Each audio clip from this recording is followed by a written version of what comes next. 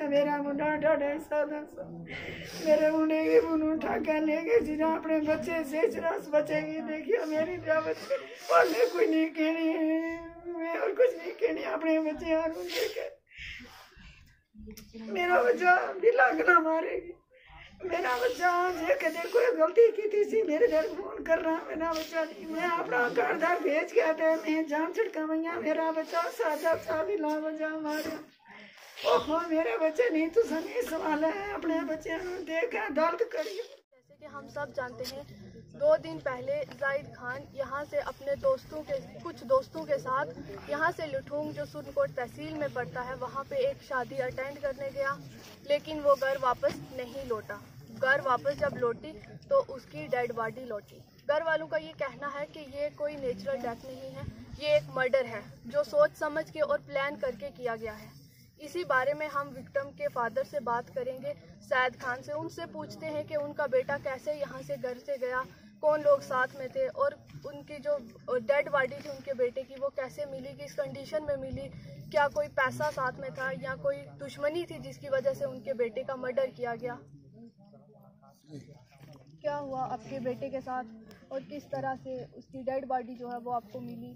उसके पीछे किसका हाथ है, क्या कोई दुश्मनी थी या क्या था? आप हमें इसके बारे में बताएँ। मेरी गाँव में या गाँव से बाहर किसी भी किस्म की या किसी जात से कोई ना दुश्मनी थी, ना है और ना होगी इससे बात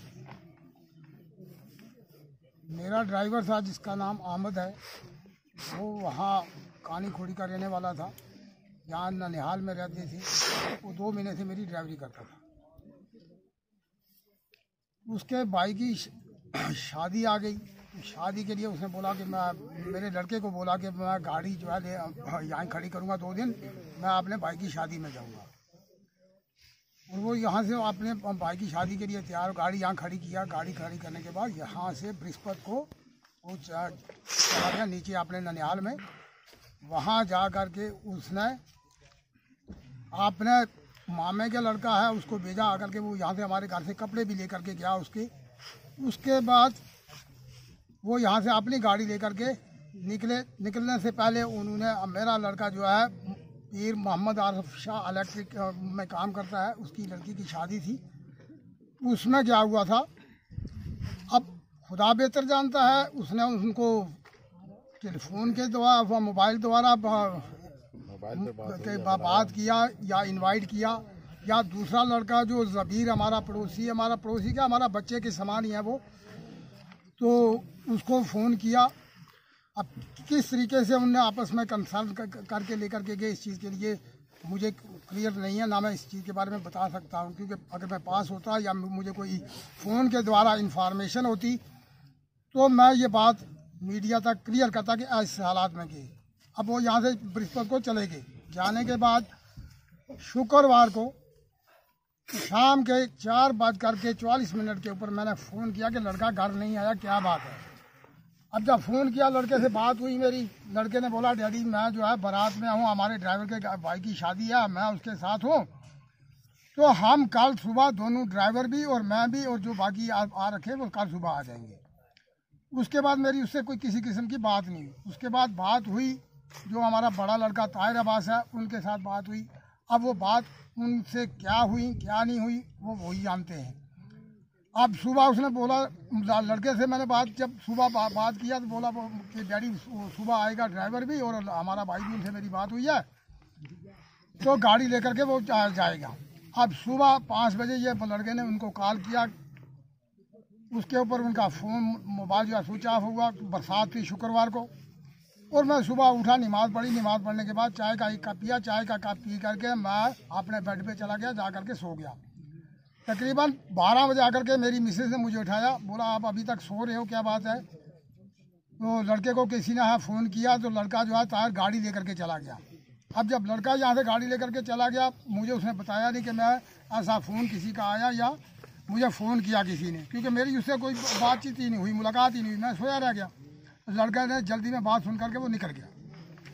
उसके बाद मैंने लड़के को फ़ोन किया तो उसने फ़ोन के पे जवाब मुझे ये दिया कि, डैडी, आप और अंकल को लेकर के साथ में और नंबरदार कबीर कबीर हमारे साथ में पड़ोसी जिसका लड़का गया, हमारे लड़के के साथ था। वो गया।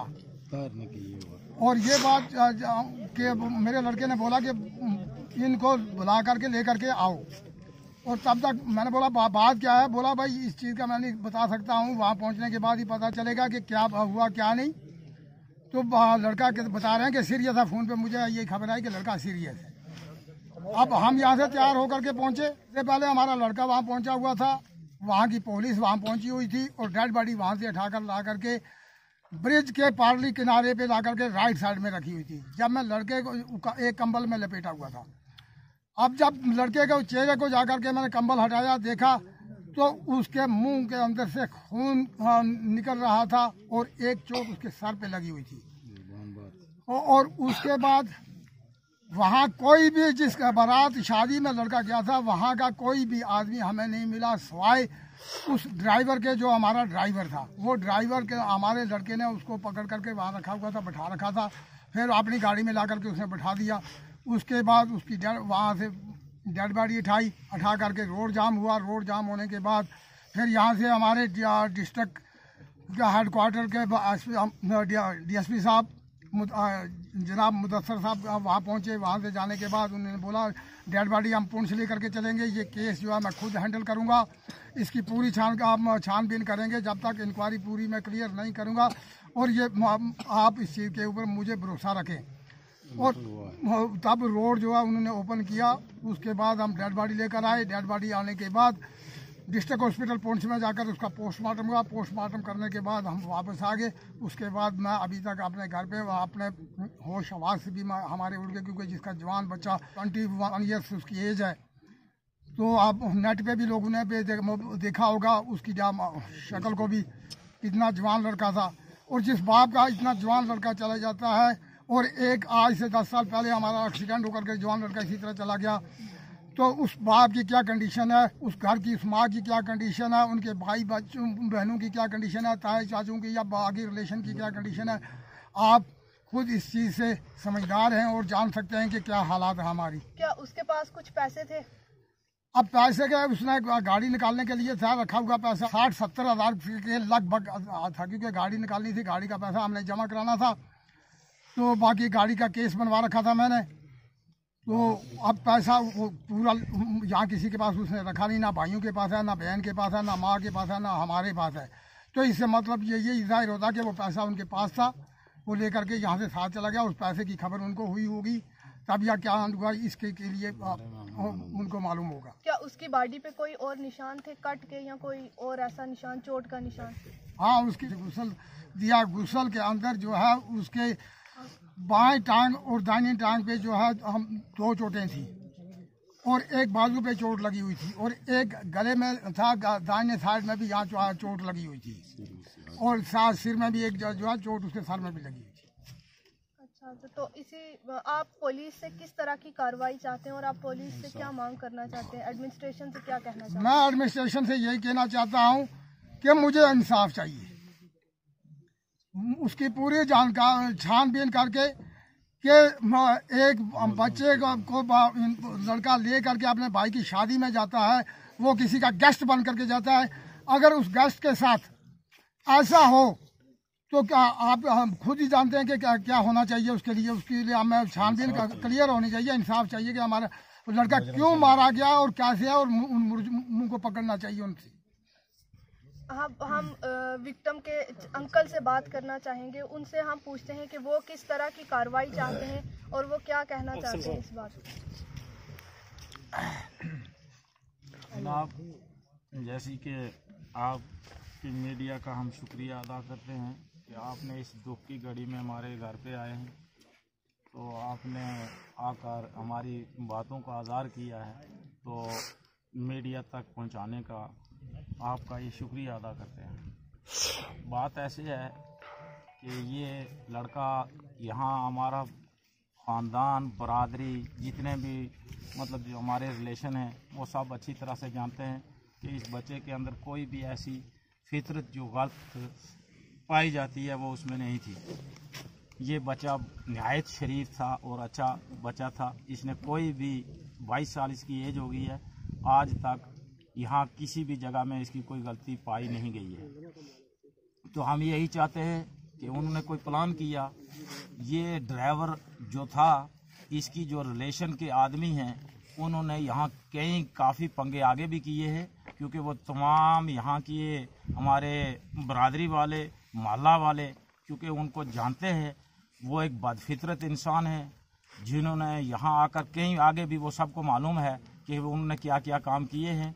तो वो जब चलने के काबिल हुए हैं, वो उन घर से निकाल दिए हैं।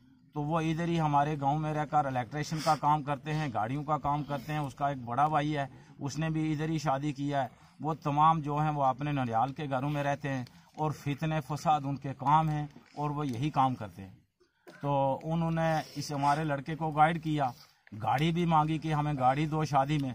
तो लड़का ड्राइवर जो गाड़ी वाला लड़का, भाई तायर जो उसका जायद का बड़ा भाई था, उसने कहा, भाई, गाड़ी मैं नहीं दे सकता हूँ। तो इन्होंने एक प्लान बनाया। प्लान बनाने के बाद उस बच्चे के पास पैसे भी थे। गाड़ी निकालने के लिए तैयार था। उसकी मेरी इससे भी बात हुई थी, लेकिन मैंने उसको मना किया कि आप शादी में मत जाओ।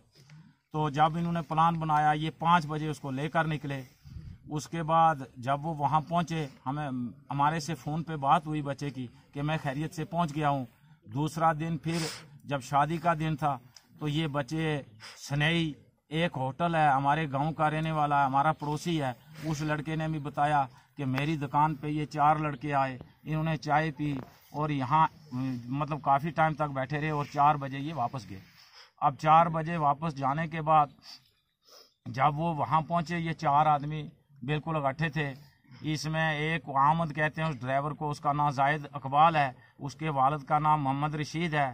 तो दूसरा साथ में गार्ड रफीक का लड़का है, मोहम्मद तारक नाम है उसका।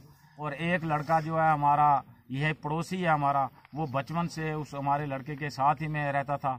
मोहम्मद ज़बीर उसका नाम है। अब अल्लाह बेहतर जाने कि इन्होंने वहाँ क्या काम किया, किसने मारा, क्या हुआ। लेकिन हाँ ये लड़के जो हैं, जिन्होंने ये काम किया है, उनका पहले भी हमने सुना है कि वहाँ वो मटर वो काफ़ी बार होते रहते हैं और करते रहते हैं, उनकी कोई भी छानबीन इससे पहले नहीं हुई है। तो हम एडमिशन से यही अर्ज़ करते हैं कि हमें इंसाफ चाहिए।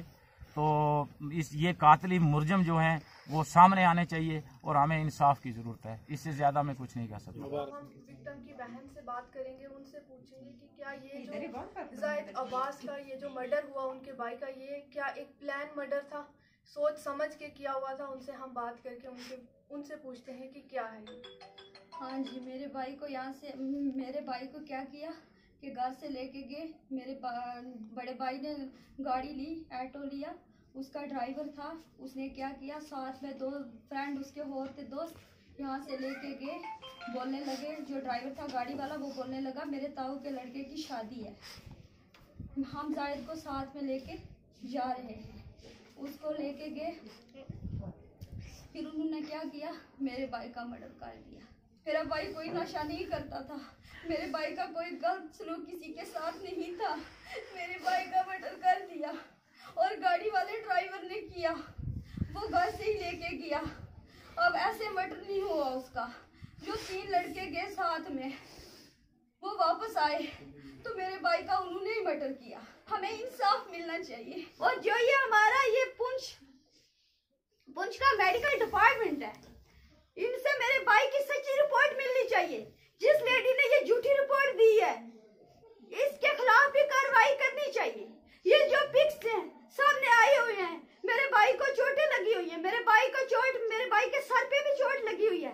मेरे भाई की टांगों पे भी चोट लगी हुई है। मेरे भाई की ज़ुबान भी निकाली हुई है।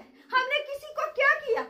कुछ कल के दिन ऐसा ना हो, पुलिस डिपार्टमेंट भी पैसा खा के मेरे भाई का कोई सबूत ना दे।